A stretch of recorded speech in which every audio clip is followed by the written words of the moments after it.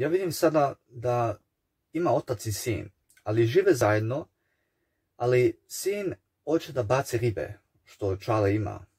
Ali Čale nije u kući i sad ti možda razumeš da sin mora da ide u taj akvarijum i da izvadi taj brod iz akvarijum i da počne da ufata te ribe što je otac dao hiljadu dolara.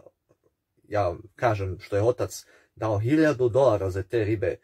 I sad, slušajte, ja vidim, ja vidim čovjek koji je sin, hoće da baci sve te ribe, pošto kao Isus, ja vidim, Isus neće da ima ove životinje u zilu, ja vidim ovaj žoletski vrt, ti razumeš, ovaj žoletski vrt, ima sve ove,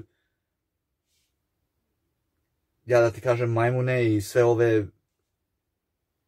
animals in terms of life. Ja vidim ove,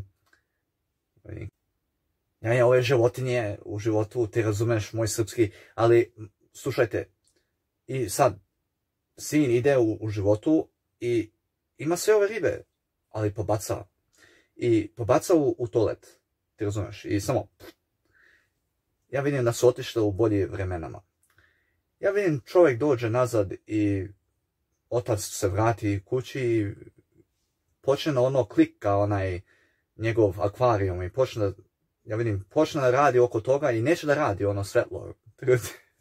Ti razumeš? Ali ovo je baš smiješno i sad da me razumete da on ide i kratka ono i neće se otvori srijalica pa gleda po ono šta ovo brod, ovo, ja vidim ovaj brod na ovoj desnu stranu i ja vidim pa gdje su mi ribe kaže čovjek. Ja vidim pa gdje su mi ribe?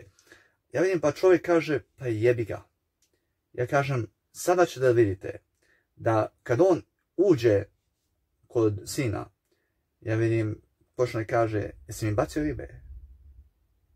Ja vidim sin kaže ja ne znam šta pričaš u životu. Ja vidim gdje su mi ribe? kaže, ja, ja vidim kaže otac, ali morate da razumete kad kaže tako pa sin kaže ja ne znam o čemu šta pričaš u životu. Ja, ja, vidim, ja vidim kaže otac daj mi ribe. Ja vidim da sin kaže ja ne znam o čemu pričaš čovječe Boži. Ja, ja vidim otac kaže ovako pa on ode, ti razumeš. I ide on svojim putom ali izvadi sve iz akvarijum i kaže ja vidim sve vađa tamo, ali ne vidi ribe uopšte. Ti razumeš? I onda, eto, ti da vidiš ta sluga, da je sin pobedio.